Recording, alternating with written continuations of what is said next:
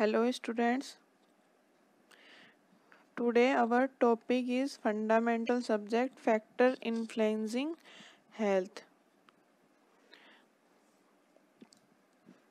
तो आज हम पढ़ेंगे कौन कौन से फैक्टर है जो हेल्थ को इन्फ्लुएंसिंग करते हैं, ठीक है? तो उसमें हम देखते हैं आज कौन कौन से टॉपिक इसमें हैं कंटेंट्स तो सबसे पहला हेल्थ डिटर्मिनेंट्स पढ़ेंगे, फिर रेस्पॉन्सिबिलिटी फॉर हेल्थ और फिर उसके बाद में फैक्टर अफेक्टिंग द हेल्थ तो सबसे पहले हेल्थ डिटर्मिनेंट्स तो हेल्थ डिटर्मिनेंट्स क्या होते हैं? कि मतलब एक निर्धारक मतलब हेल्थ को निर्धारित करने वाले जो फैक्टर्स होते हैं वो मतलब जो ये जो ऐसे निर्धारक या ऐसे जो डिटर्मिनेंट्स जो हेल्थ पर इम्पैक्ट डालते हैं, जैसे किसी इंडिविजुअल की फंक्शनिंग पर, किसी फिजियोलॉजिकल उसकी फंक्शनिंग पर या क्वालिटीज़ क्वालिटी ऑफ़ लाइफ उसकी जो आउटकम्स हैं, उन पे ये जो डिटर्मिनेंट्स है, वो कैसे इम्पैक्ट डालते हैं? और हेल्थ को इन्फ्लुएंस करने के लिए बहुत से फैक्टर्स होते हैं जो रेस्पॉन्सिबल रेस्पॉन्सिबल्स होते हैं। तो उनमें से कुछ फैक्टर्स जो होते हैं वो इन डिटर्मिनेंट्स के जो टाइप हैं, इनके अंदर ऑर्गेनाइज होते हैं। जैसे देखते हैं कि सबसे पहला जैसे जेनेटिक मेकअप है। तो जेनेटिक मेकअप कैसे हेल्थ को इन्फ्लुएंस करेगा? कैसे मतलब ये हेल्थ पे इफ़ेक्ट डालेगा, कैसे इन्फ्लुएंस करेगा हेल्थ को? जैसे तो जेनेटिक मेकअप क्या होता है कि जो इंडिविजुअल की जो जो फ़िज़िकल और जो मेंटल उसके ट्रेट होते हैं, वो जो जीन की हेल्प से एक जनरेशन से दूसरे जनरेशन में ट्रांसफ़र होते हैं ठीक है? तो नेचर ऑफ़ जीन्स ऐसा हो, होता है जिन जो जो जैसे कि मदर से उसके पेरेंट्स से उसके बच्चों में ट्रांसफ़र होते हैं। जैसे कि बहुत सी डिज़ीज़ होती हैं जो जीन जिन जो ट्रांसफ़र होती है। क्यों? क्योंकि जीन के कारण। जीन से ही उनका ट्रांसपोर्टेशन होता है। या फिर किसी जीन्स में इरेगुलरिटी के कारण भी कोई डिज़ीज़ हो सकती है तो वो भी एक जनरेशन से दूसरी जनरेशन में ट्रांसफ़र होती है। जैसे कि कुछ डिज़ीज़ जैसे क्रोमोसोमल एबनॉर्मलिटी होती है, या फिर मेटाबॉलिज्म एरर होते हैं, या फिर मेंटल रिटार्डेशन होता है, या फिर कुछ टाइप के जो डायबिटीज़ होते हैं, वो एक जनरेशन से दूसरे जनरेशन में ट्रांसफ़र होते हैं, क्योंकि जो पेरेंट्स के जीन में है, उनका उसी तरह का स्ट्रक्चर बन जाता है वैसा ही उन जीन्स का नेचर हो जाता है, जो कि ट्रांसफ़र होता है। उसके बाद में सेकंड है, इन्वायरमेंट।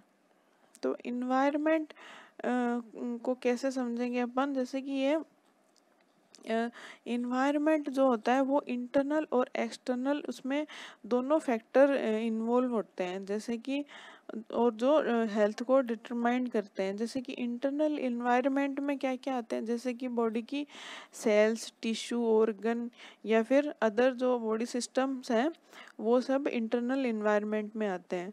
और जो एक्सटर्नल इन्वायरमेंट में आते हैं, वो कौन कौन से होते हैं? जैसे कि फ़िज़िकल बायोलॉजिकल सोशल या फिर कल्चरल फैक्टर्स है ना? ये सब जो है ना, वो वो हेल्थ पर हेल्थ को अफेक्ट करते हैं।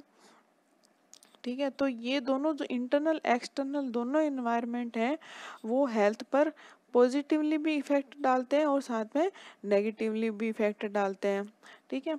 और और कई बार ऐसे पर्सन को मतलब ऐसा बना देते हैं जो कि हेल्थ के लिए इलनेस के लिए ससेप्टिबल भी हो जाता है। देन थर्ड है लाइफ स्टाइल अब लाइफ स्टाइल कैसे क्योंकि लाइफ स्टाइल बहुत इम्पोर्टेंट डिटर्मिनेंट्स होता है हेल्थ का, ठीक है? तो लाइफ स्टाइल से ही कोई इंडिविजुअल उसकी हेल्थ डिपेंड करती है उसकी लाइफ स्टाइल पे ही, ठीक है? क्योंकि जैसे कि किसी का सोशियो इकोनॉमिक स्टेटस या फिर उसकी हैबिट्स या फिर उसके सोशियो कल्चरल फैक्टर्स या फिर कस्टम्स रिलीजन्स ऐसा मतलब बहुत से फैक्टर्स होते हैं जो कि लाइफ स्टाइल पर इफ़ेक्ट डालते हैं। जैसे कि उसकी कुछ हैबिट जैसे स्मोकिंग या अल्कोहल की हैबिट होगी जो उसकी हेल्थ पे बैडली इफ़ेक्ट डालती है। और और साथ ही साथ, कुछ अच्छी अच्छी लाइफ स्टाइल भी होती है उसकी, जैसे गुड इन्वायरमेंटल सैनिटेशन हो, अगर गुड न्यूट्रिशन हो उसका, या फिर साउंड स्लीप हो, या सफिशिएंट फ़िज़िकल एक्टिविटीज़ वो करे तो ये सब उस इंडिविजुअल की हेल्थ पर पॉजिटिव इफ़ेक्ट डालते हैं। ठीक है? उसके बाद में है fourth is socio economic condition no fourth sorry fourth is education तो एजुकेशन कैसे होगा? कि एजुकेशन जो है वो हेल्थ को जो हेल्थ स्टेटस है इंडिविजुअल का, उस पर एजुकेशन भी बहुत इम्पोर्टेंट रोल होता है एजुकेशन का। जैसे कि एजुकेटेड पर्सन जो होता है, उसको बहुत अच्छी नॉलेज होती है अपनी हेल्थ के प्रति, ठीक है? कि भाई कौन कौन से फैक्टर हैं या फिर कौन कौन सी मतलब ऐसे कौन कौन से काम हैं जिन जिन, जिनको करके मैं अपनी हेल्थ को इम्प्रूव कर सकता हूँ, मैं अपनी क्वालिटी ऑफ़ लाइफ को इम्प्रूव कर सकता हूँ, ठीक है? तो एजुकेशन भी बहुत इम्पोर्टेंट फैक्टर होता है। उसके बाद में है ऑक्यूपेशन। तो ऑक्यूपेशन भी इम्पोर्टेंट रोल प्ले करता है। कैसे? जैसे कि किसी इंडिविजुअल के पास में कोई अच्छा ऑक्यूपेशन है है ना? जिसकी वजह से उसका वर्क अच्छा चल रहा है है ना? अच्छा वर्क कर रहा है तो उसकी वजह से वो एक मतलब अच्छी हेल्थ केयर सर्विसेज़ ले सकता है या फिर इसके अलावा दूसरे अगर नज़रिए से देखें तो ऑक्यूपेशन ऐसे इम्पैक्ट डालेगा। अगर मतलब अगर किसी इंडिविजुअल का ऐसा ऑक्यूपेशन है जिसमें मतलब वो लॉन्ग टाइम तक बैठा ही रहता है या फिर ज़्यादा उस पर हैवी वर्कलोड नहीं होता है, जिसकी वजह से वो ओबेस भी हो जाता है। ठीक है? तो ये सब क्या होता है, उसमें बहुत सी डिजीजेस डेवलप करने के कारण भी होते हैं। जैसे कि हो सकता है हार्ट डिज़ीज़ डेवलप हो जाए, है ना? और कुछ कुछ इंडिविजुअल के ऑक्यूपेशन ऐसा होता है जिसमें कि फ़िज़िकल एक्टिविटी बहुत ज़्यादा होती है तो वो तो उनमें, उनकी हेल्थ कैसी होता, हो जाती है? मोर एक्टिव और हेल्दी उनकी हेल्थ होती है। उसके बाद में देखते हैं हेल्थ सर्विसेज़ तो हेल्थ सर्विसेज़ में क्या आता है कि जो है, जो हेल्थ सर्विसेज़ है, उनका भी हेल्थ स्टेटस पे बहुत अच्छा इफ़ेक्ट पड़ता है। जैसे कि अभी अभी जो करंट में जो हेल्थ सर्विसेज़ या हेल्थ फैसिलिटीज़ हैं, जो वो सब अर्बन कम्युनिटीज़ में अच्छी प्रोवाइड की होती है। देन रूरल एरिया जिसकी वजह से क्या है अर्बन एरियाज़ में इलनेस की इंसिडेंस कम होती है। जैसे कि क्या क्या सर्विसेज़ होती है, जैसे कि इम्यूनाइजेशन हो गया या फिर provision of safe water supply या फिर care of pregnant women and childrens या फिर प्राइमरी हेल्थ केयर्स तो ये सब में, वैसे तो रूरल और अर्बन दोनों में ये हेल्थ केयर फैसिलिटीज़ मिलती है, लेकिन मेनली अर्बन एरिया में ज़्यादा अच्छे से प्रोवाइड होती है। उसके बाद में है सोशियो इकोनॉमिक कंडीशन तो इसमें क्या है? सोशियो इकोनॉमिक कंडीशन क्या है? इसको कैसे समझ सकते हैं कि जैसे एक डेवलप्ड कंट्री है और दूसरी डेवलपिंग कंट्री है। तो डेवलप कंट्री में क्या है कि जो मोर्टेलिटी uh, और मोरबिडिटी की जो परसेंटाइल है जो केसेस है वो बहुत कम है। मतलब बहुत ज़्यादा कम है, ठीक है? लेकिन अभी क्या है, अभी के टाइम में जो डेवलपिंग कंट्रीज़ हैं, उनकी भी मोर्बिडिटी और मोर्टेलिटी के केसेस में ग्रेजुअली डिक्रीजिंग देखने को मिल, मिलता है। क्योंकि वहाँ के लोगों की भी हेल्थ इम्प्रूवमेंट हो रही है और क्योंकि वहाँ के जो लोग हैं, वहाँ की अच्छा सोशियो इकोनॉमिक स्टेटस बाय करने बाय कर सकते हैं वो। ठीक है?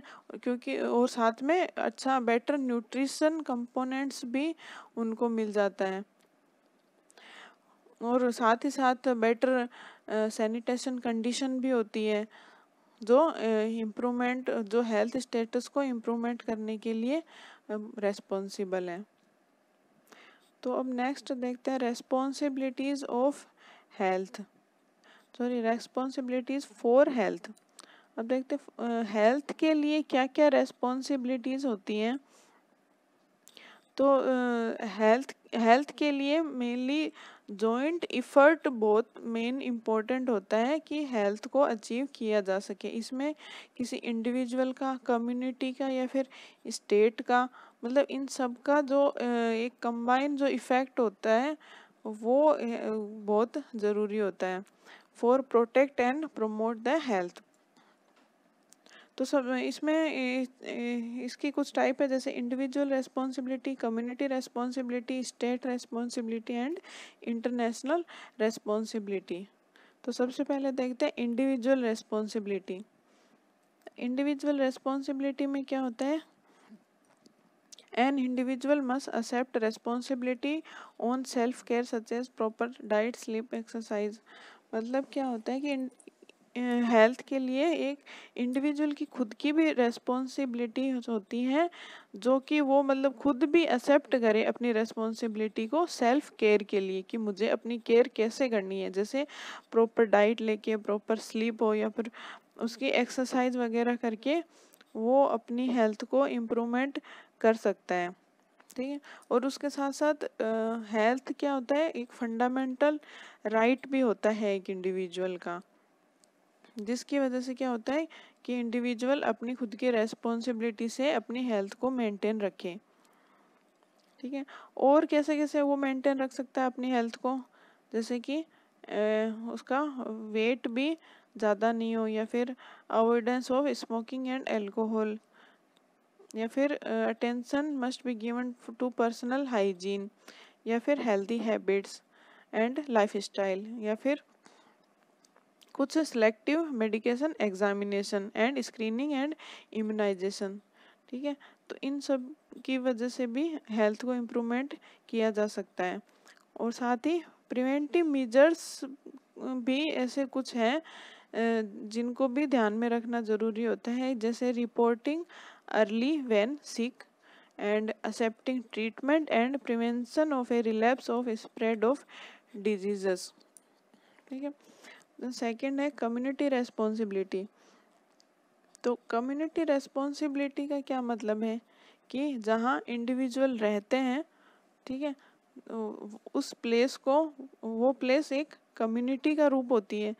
तो उन, उस पूरी कम्युनिटी की रेस्पॉन्सिबिलिटी होती है कि वो एक अच्छी हेल्थ को मेंटेन रखे, एक अच्छा अच्छा हेल्थ स्टेटस मेंटेन रखे फॉर ऑल इंडिविजुअल्स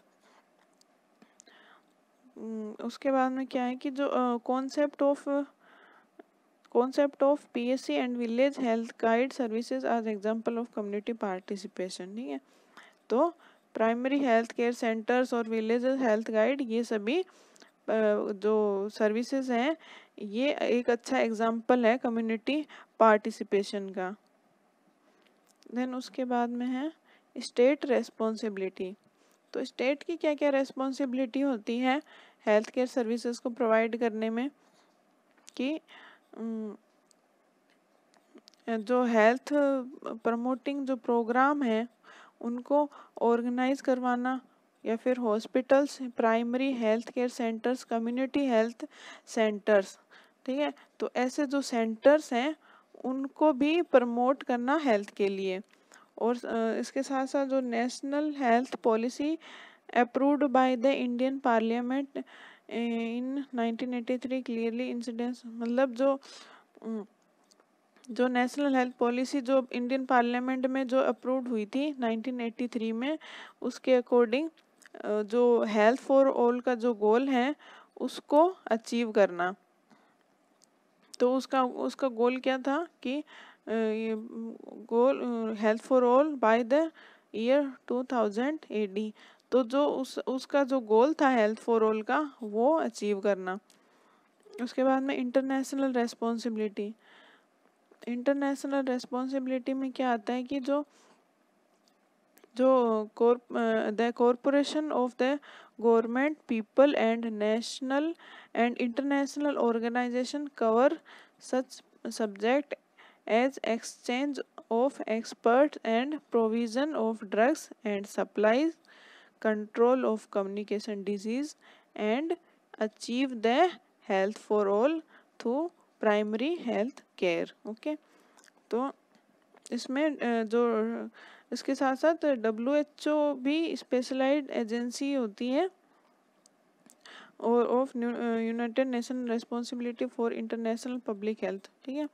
तो डब्ल्यू एच ओ की भी जो स्पेशल डब्ल्यू एच ओ भी एक स्पेशल जो एजेंसी है जिसकी क्या जिसकी भी रेस्पॉन्सिबिलिटी होती है इंटरनेशनल पब्लिक हेल्थ को मेंटेन रखने के लिए।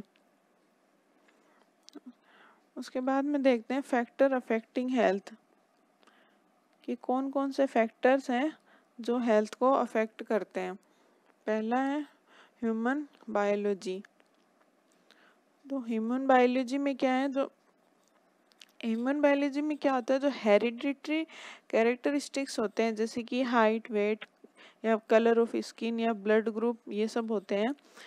तो ये किसके द्वारा डिटरमाइंड होते हैं? ये जीन्स के द्वारा डिटरमाइंड होते हैं, जो कि या तो मदर से आते हैं या फिर फादर से आते हैं, या दोनों से एक बच्चे में ट्रांसफ़र होते हैं।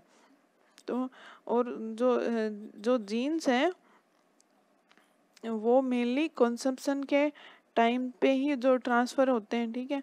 मतलब प्रेगनेंसी के टाइम से में बच्चे को ट्रांसफ़र होते हैं। तो उस टाइम में ये जो सारे जो कैरेक्टरिस्टिक्स हैं, वो भी बच्चे में ट्रांसफ़र होते हैं।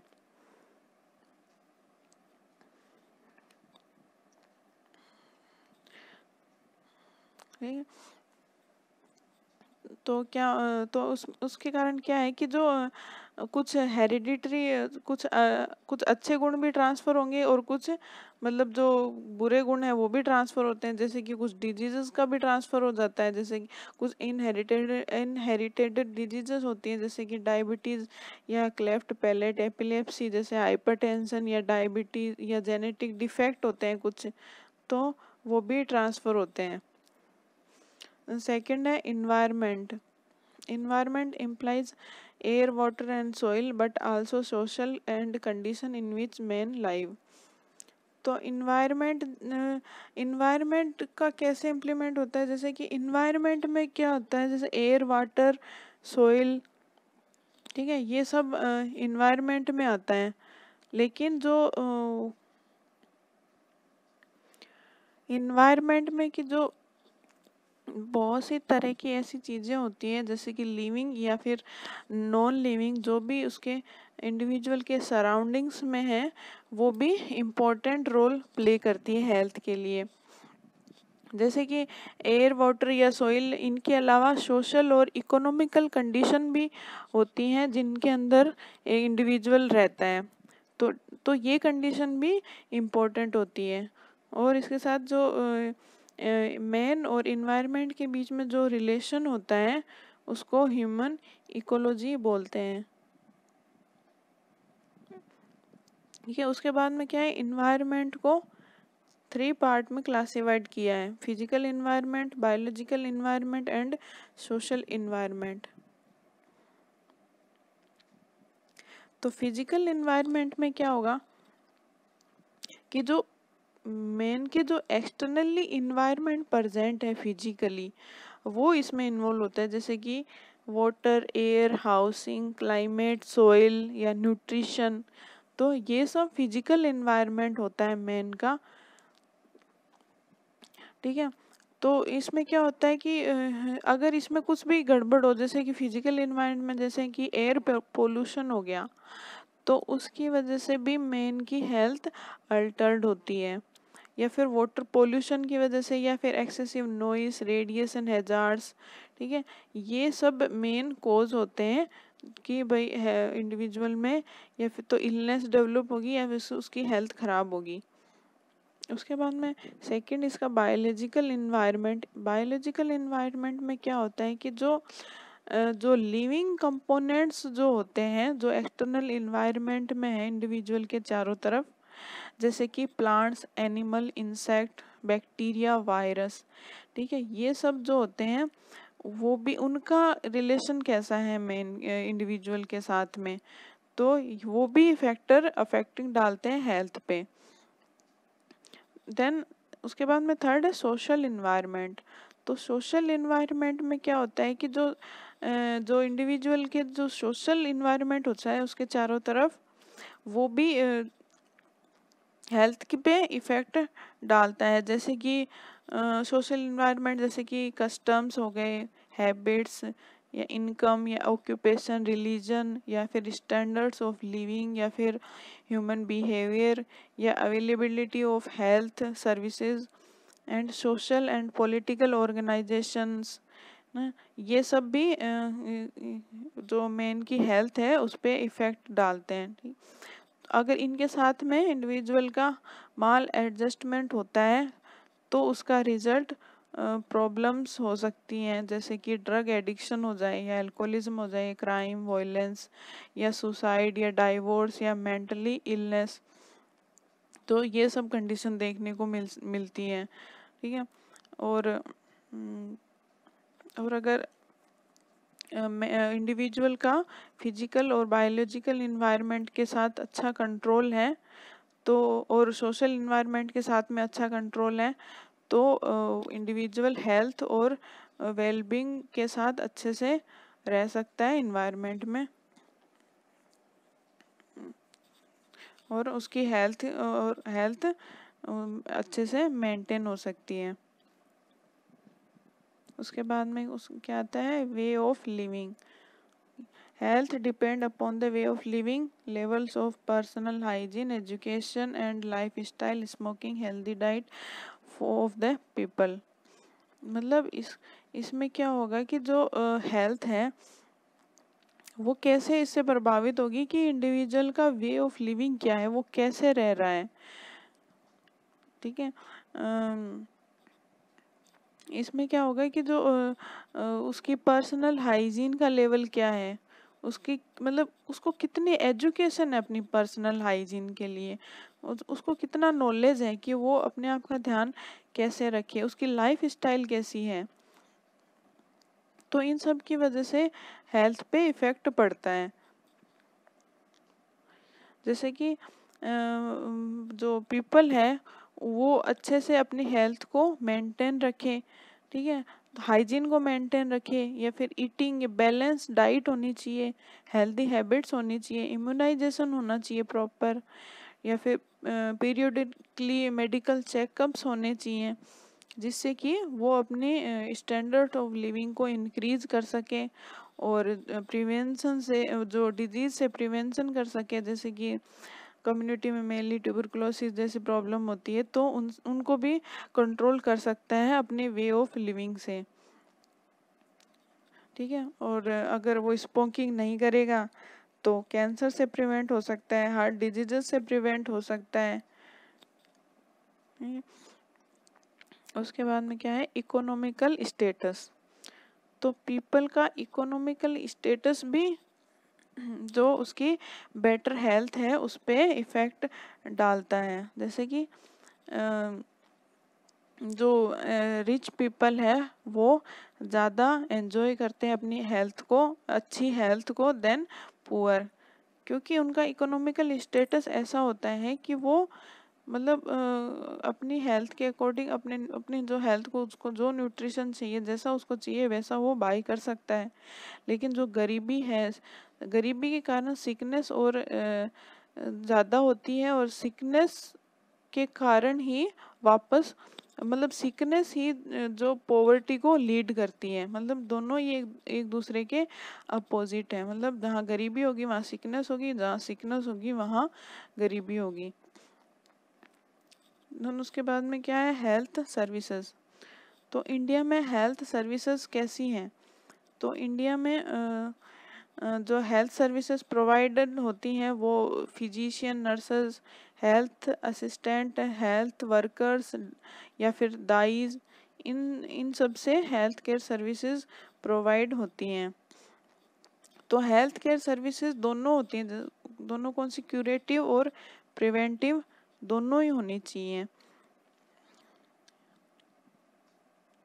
जो कि जो क्यूरेटिव और प्रिवेंटिव जो हेल्थ सर्विसेज़ हैं, उन, उनके द्वारा जो मेडिकल केयर है या control of communicable disease of mother and children health मतलब एंड हेल्थी या फिर फैमिली प्लानिंग या इम्प्रूवमेंट ऑफ़ इन्वायरमेंट या स्कूल हेल्थ सर्विसेज़ या collection of vital statistics and जो हेल्थ एजुकेशन है, वो सब प्रोवाइड होना चाहिए प्रॉपरली ठीक है? तो हमने आज पढ़ा factor influencing health okay thank you